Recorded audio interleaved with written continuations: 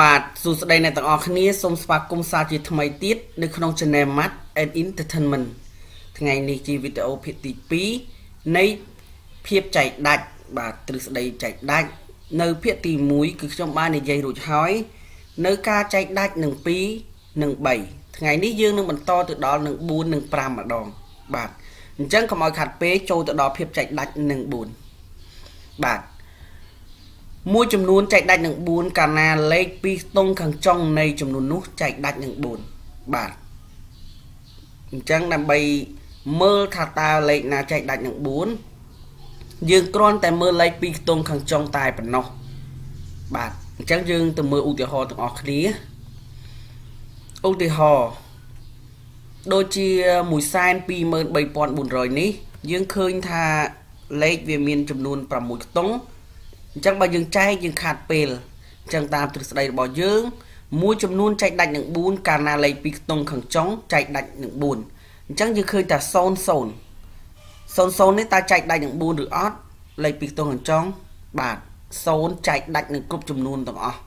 អញ្ចឹងមានន័យថា0 0នេះចែកដាច់នឹង4 បើលេខ2ខ្ទង់ខាងចុង0 0នេះចែកដាច់នឹង4អញ្ចឹងចំនួន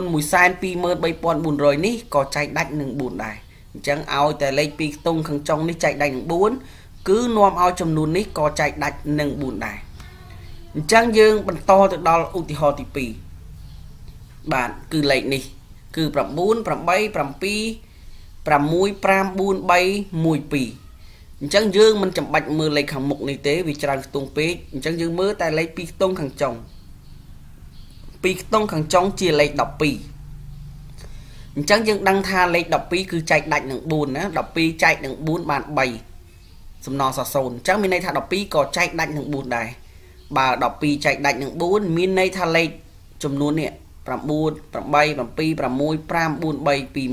1 2គឺចែកដាច់នឹង4ដែរបាទ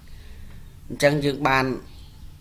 ពីចំនួននេះគឺសុទ្ធតែចែកដាច់នឹង4ពីព្រោះលេខ2ខ្ទង់ខាងចុងរបស់វា គឺសុទ្ធតែចែកដាច់នឹង4អញ្ចឹងយើងទៅដល់ចំនួនទី3ចំនួនទី3គឺមានលេខច្រើនខ្ទង់មែនតែនបាទវាមានលេខច្រើនខ្ទង់អញ្ចឹងយើងមិនចាំបាច់ទៅមើលលេខខាងមុខទេ គឺយើងមើលតែលេខ2ខ្ទង់ខាងចុងទេអញ្ចឹងយើងឃើញថាលេខ2ខ្ទង់ខាងចុងរបស់យើងរបស់វា បាទលេខ2ខ្ទង់នៃចំនួនហ្នឹង គឺជាលេខ88ហើយយើងបានដឹងហើយថាលេខ88ក៏ចែកដាច់នឹង4ដែរបាទគឺ88ចែកនឹង14ដាច់ណាអញ្ចឹងចែកនឹង4ដាច់ចម្លើយរបស់វាគឺបាន22បាទ88ចែកនឹង4គឺបាន22វាចែកដាច់អញ្ចឹងមានន័យថាបើសិនជាលេខ2ខ្ទង់ខាងចុងរបស់វានេះចែកដាច់នឹង4យើងបានចំនួនហ្នឹង បាទចំនួនដែលខ្ញុំទៅសេពណ៌រៀងរៀងស្វាយចាស់បន្តិចនេះ គឺវាក៏ចែកដាច់នឹង4ដែរពីព្រោះលេខ88ចែកដាច់នឹង4អញ្ចឹង3ចំនួននេះគឺសុទ្ធតែចែកដាច់នឹង4បាទសូមបញ្ជាក់ម្ដងទៀតថាឲ្យតែលេខ2ខ្ទង់ខាងចុងរបស់វាចែកដាច់នឹង4នាំឲ្យចំនួនទាំងមូល គឺក៏ចែកដាច់នឹង4ដែរដូចជាចំនួនទី1 00ចែកដាច់នឹង4 ចំនួនទី2 12ចែកដាច់នឹង4ចំនួនទី3 88ក៏ចែកដាច់នឹង4អញ្ចឹងចំនួនទាំង3នេះក៏ចែកដាច់នឹង4ដែរចុះបើវាចែកមិនដាច់នឹង4តើវាយ៉ាងម៉េចវិញអញ្ចឹងសូមមើលឧទាហរណ៍ឧទាហរណ៍នេះលេខ51ជាលេខ2ខ្ទង់ខាងចុងអញ្ចឹងលេខ51ចែកមិនដាច់នឹង4ទេដោយលេខ51នេះចែកមិនដាច់នឹង4មានន័យថាចំនួនទាំងមូលនេះក៏ចែកមិនដាច់នឹង4ដែរ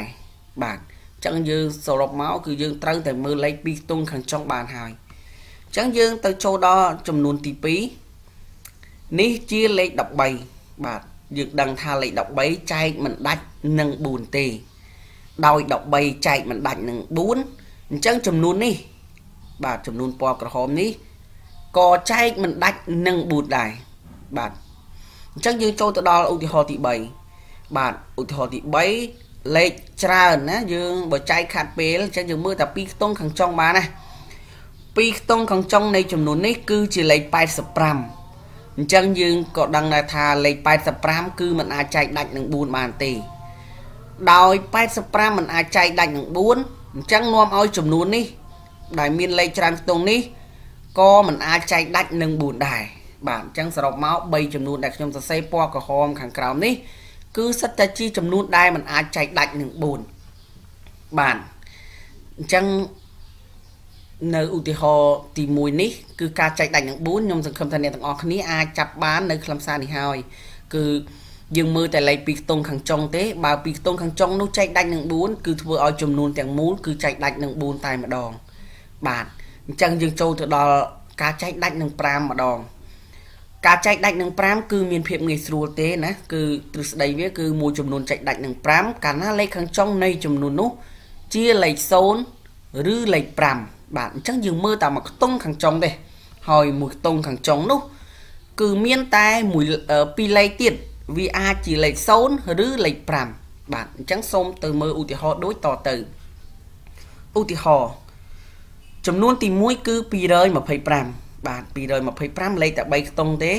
អញ្ចឹងយើងមិនចាំបាច់ទៅមើលលេខ22ខាងមុខនេះមិនចាំបាច់ទៅមើលលេខខ្ទង់100ខ្ទង់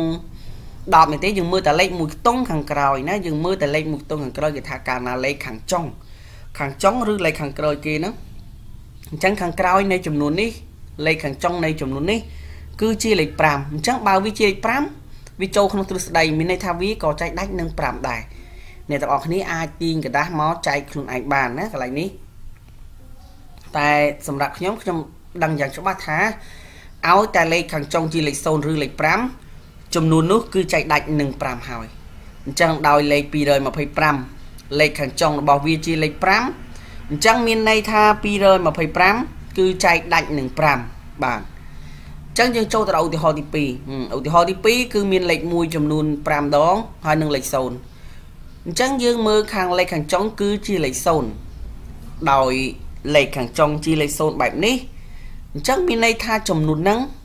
ក៏ចែកដាច់នឹង5ដែរបាទអញ្ចឹងចំនួនក៏ចែកដាច់នឹង5ដែរណាគឺ1សែន10000 1110ចំនួននេះក៏ចែកដាច់នឹង5ដែរពីព្រោះវាមានលេខខាងចុងមួយខ្ទង់នេះគឺជាលេខ0បាទអញ្ចឹងយើងចូលទៅដល់ឧទាហរណ៍ទី3 ឧទាហរណ៍ទី3គឺលេខ4ចំនួនមើល2 4 6 8 10 11លេខ4ចំនួន11ដងហើយនឹងលេខ5ចុងក្រោយប៉ុន្តែយើងមិនបានខ្វល់ទៅលើលេខនៅខាងមុខនេះទេទោះជាលេខ1ឬលេខ4មួយលានដងក៏ដោយក៏យើងមិនខ្វល់ដែរគឺយើងមើលតែលេខខាងចុងមួយខ្ទង់តែប៉ុណ្ណោះដោយលេខមួយខ្ទង់ខាងចុងរបស់វាជាលេខ5 អញ្ចឹងមានន័យថាចំនួនហ្នឹងក៏ចែកដាច់នឹង5ដែរគឺចំនួនទាំងមូលនេះដែលមានពណ៌ស្វាយនេះក៏ចែកដាច់នឹង5ដែរអញ្ចឹងសរុបមកចំនួនទាំង3ដែលខ្ញុំបានបង្ហាញនេះគឺសិតតែជាចំនួនដែលចែកដាច់នឹង5ទាំងអស់ចុះតើចំនួនរបៀបម៉េចដែលវាមិនចែកដាច់នឹង5គឺវាខុសពីលក្ខខណ្ឌហ្នឹងបានន័យថាលេខខាងចុងរបស់វាក្រៅពីលេខ0ឬលេខ5អញ្ចឹងក្រៅពីលេខ2នេះគឺសិតតែចែកមិនដាច់ឧទាហរណ៍ទី1 2222លេខខាងចុងរបស់វាមួយខ្ទង់នោះ គឺជាលេខ2អញ្ចឹងបើវាលេខ2មានន័យថាវាចែកមិនដាច់នឹង5ទេបាទចូលទៅដល់ឧទាហរណ៍ទី2បាទលេខខាងចុងរបស់វាជាលេខ3បើលេខខាងចុងរបស់វាជាលេខ3អញ្ចឹងវាក៏ចំនួនហ្នឹងនាំឲ្យចំនួនហ្នឹងក៏ចែកមិនដាច់នឹង5ដែរបាទ ក៏ចែកមិនដាច់នឹង5ដែរពីព្រោះលេខខាងចុងរបស់វាជាលេខ3បាទអញ្ចឹងយើងចូលដល់ឧទាហរណ៍ទី3ទៀតឧទាហរណ៍ទី3គឺលេខច្រើនមែនតើបាទអញ្ចឹងយើងមើលលេខកាត់មកខ្ទង់ខាងចុងហ្នឹងអញ្ចឹងខ្ទង់ខាងចុងរបស់វាគឺជាលេខ9បើវាជាលេខ9មានន័យថាវាខុសពីលក្ខខណ្ឌដែលជាលេខ0និងលេខ5បើជាលេខ0ឬលេខ5មានន័យថានេះ គឺចែកដាច់ហើយប៉ុន្តែនេះជាលេខ9វាខុសអញ្ចឹងបានន័យថាចំនួនហ្នឹងក៏ចែកមិនដាច់នឹង5ដែរសរុបមក3ចំនួនដែលមានពណ៌ក្រហមនេះសុទ្ធតែជាចំនួនដែលចែកមិនដាច់នឹង5ហើយខ្ញុំសូមបញ្ជាក់អ្នកទាំងអស់គ្នាថាចំនួនដែលចែកដាច់នឹង5កាលណាលេខខាងចុងជាលេខ0ឬលេខ5គេប្រើពាក្យឬលេខ5ឬលេខ5មានន័យថាលេខ0ក៏ចែកដាច់លេខ5ក៏ចែកដាច់ណាយើងយើងប្រើពាក្យឬមិនប្រើពាក្យនឹងទេគឺឬ មានន័យថា0ឬ5មានន័យថា0នៅខាងក្រោយក៏ត្រូវ5នៅខាងក្រោយក៏ត្រូវបាទអញ្ចឹងខ្ញុំសូមសរុបឲ្យនៅភាពចែកដាច់នឹង4និង5នេះឡើងវិញថាការទ្រឹស្ដីភាពចែកដាច់នេះគឺគ្រាន់តែឲ្យយើងដឹងថាចំនួនណាមួយ ដែលអាចចែកដាច់នឹង4ឬចែកដាច់នឹង5តែប៉ុណ្ណោះតែវាមិនអាចឲ្យយើងដឹងនៅចម្លើយនោះទេបាទហើយ ភាពចែកដាច់នឹង4គឺមើលលេខ2ខ្ទង់ខាងចុងបើ2ខ្ទង់ខាងចុងចែកដាច់នឹង4មានន័យថាចំនួននោះគឺចែកដាច់នឹង4ហើយចំណែកចែកដាច់នឹង5គឺមើលលេខ2ខ្ទង់1ខ្ទង់ខាងចុងបើលេខនោះជាលេខ0ឬលេខ5មានន័យថាចំនួននោះចែកដាច់នឹង5ហើយបាទអញ្ចឹងខ្ញុំនៅមានលំហាត់មួយទៀតឲ្យអ្នកទាំងអស់គ្នាគឺ តើចំនួនទាំង3នេះ បាទគឺទី1